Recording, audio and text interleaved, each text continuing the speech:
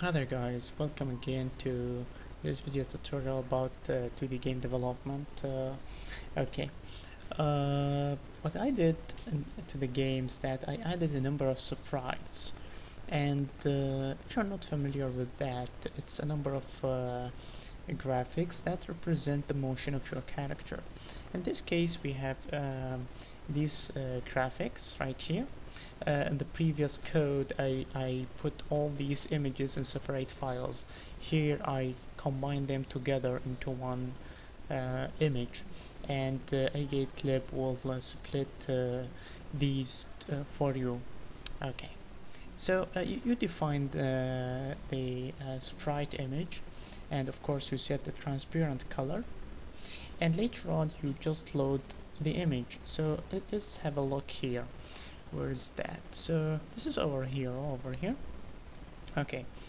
So what you want to do um before that maybe I should show you what I, I did to, to the base creature class.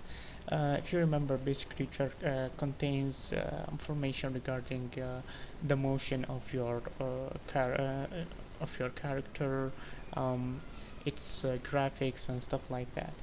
Anyway so uh, I did a number of changes uh, uh, one of them is that I, I put the HP effect not in the enemies but in the base class okay uh, which is here.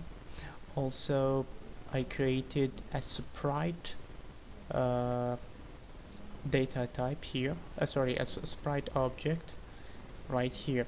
And this will hold all the graphics you want to display that uh, uh, that and this will represent your character. Okay. Um, I did a number of changes as well. For example update location will receive an object and there will be you might want to do some processing based on that object. We're gonna see how this works. Okay. So let's go to our hero in this case. So what did I do here?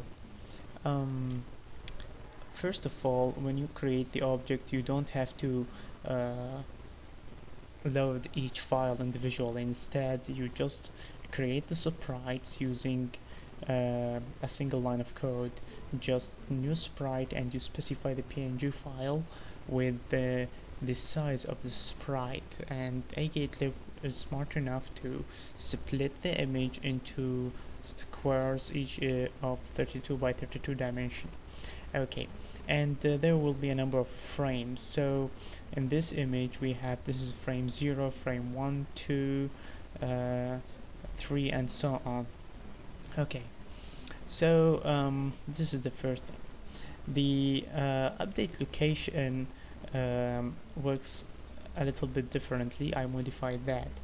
So the modification is for uh, identifying the correct frame now uh, you can see here uh, this part is checking for the correct frame check if the character is jumping. In that case uh, you, are gonna use either this frame for jumping uh, to left or this frame for jumping to right.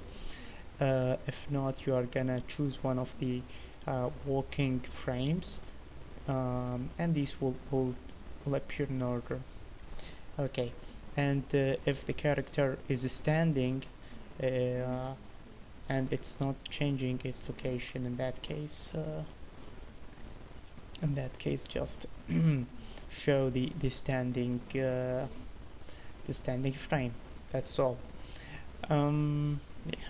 The rest is uh, the same. There is nothing into it. Okay.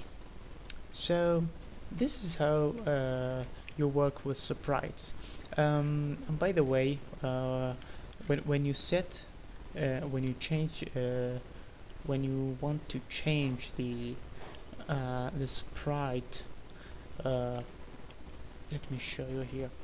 Let's go to the base creature and uh, let's go to the rendering routine. So this is render render creature.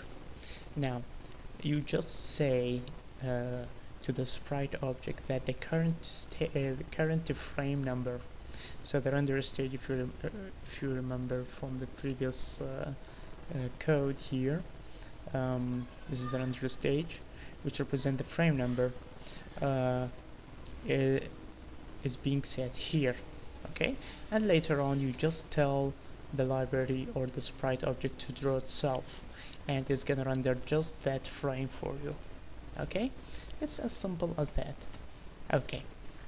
Uh, what I did as well um, uh, let me show you the stupid enemy which you are already familiar familiar with. Here I just create a sprite of course and also I pass the parameter e1 uh, sorry the file name e1 and again uh, for the update location I modified the code so that uh, it will uh, it, it will show the correct uh, frame. Okay. Now I created another type of enemy. So let me show you here. So this is one type. Let me show you where is it? This is the stupid enemy. This is the new the new graphics. Uh, you can create these with GIMP it requires some time but uh, I think GIMP is okay. And this is the other enemy. And uh, this one's a little uh, I put a little bit of intelligence into th this one. And I'm gonna show you what I mean by that. Okay. So um, let me go to this one. I called it persistent enemy. Okay. So this one will receive an object here. Okay. And this object uh, I'm gonna assume it's the information of the user. Now the persistent enemy works like this. If uh, it is gonna follow the user okay? It's gonna follow your hero and if it finds the hero on a higher platform it's gonna jump it will it will be more likely to jump into that platform. If it is uh, in, a, on a, in a lower platform it won't it will not try to jump. So let me show you this here. So uh, check this out. Let me see.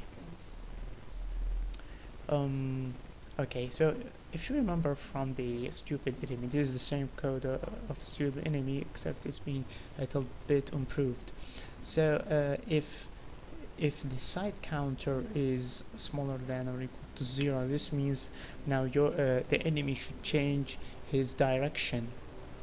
Um, yeah. So um, here we are checking we are checking if the location of the enemy is less than the location of our character here if so it means our uh, the enemy should move to the right in order to attack you. So we set the size to zero. Otherwise we need the enemy to move to the left. Okay so we set it to one. This is the first thing. The other thing uh, we need to know is about jumping. Um, where is that? I wait a minute the jump code um, yeah. This is the part where we uh, where I did the jump code. Okay so if the enemy is standing and the location the Y location of the enemy is uh, uh, greater uh, than your character it means the enemy is on a lower platform then I perform a jump. Okay so here uh, this is this is the condition when jump could happen. Uh, there's a, a, random number is being generated and there is a probability. And check the probability here. The the number should uh, the random number should be above 900 if not the random number should be above 995 okay so it will be less probable to jump if uh, the enemy is above your current platform. So given these two simple conditions which is uh, this is the first condition and this is the second condition. Uh, this type of enemy will follow you wherever you go. Okay. Um, let me just show you the last changes and then uh, I'm going to demonstrate this. So here um, what I did let me show you here. Where is it so uh, of course I updated the code here to include the the second type of enemy. And also where is it? Where's the update location? Now the update location function now receives your character information test char. Uh, and because of that it's gonna follow your character. Okay. So uh, this is all the updates I did to the code. Now I guess it's time to see how this works. Um, maybe I'm gonna create uh, let me see. We will have about 50 enemies uh, of both types. Okay so let's demonstrate that. Let's go here double click here hit test. Now take a look here. Okay. So this is our guy in the tuxedo. And now as you can see when I am jumping the enemies are jumping uh, after me. Okay? And uh, yeah. They are more likely to jump here. Come on. Just leave me alone. And this one should fall? Okay and he just fell. And not only that if, if I go down a little bit you can see that later on they will change uh, their their side and they will follow me again. Okay so this one's trying to jump but there is no platform so that uh, he can reach me. Okay this one is jumping down. This one's gonna reach me in a minute. Okay so um, yeah. And this one will, will, will keep trying. Okay there's another one so uh, on the other hand if you look at the other type of enemy which is this dummy one you can see it changing side even though my character is in front of him. Um, yeah. So this is how you can add a little bit of AI to your to your enemies. And uh, also this is how you do some uh, sp uh, few sprites. Yeah okay. Uh, one last thing regarding sprites. Um, the way I created these sprites is using GIMP. So uh, this is GIMP. Okay as you can see these are the sprites. Uh, you can uh, just go and show the grid. Okay uh, go to tools uh, sorry image and configure grid and here you give it size 32 by 32 and select specific color so that you distinguish each frame. Okay so you can see these lines will show you where um, where uh, the character uh, will be placed. So you want to make sure that each character sits exactly in one in one square okay in the correct location. And after you finish the first row you can just copy and uh, flip this one uh, to, to get the other side. It's as simple as that.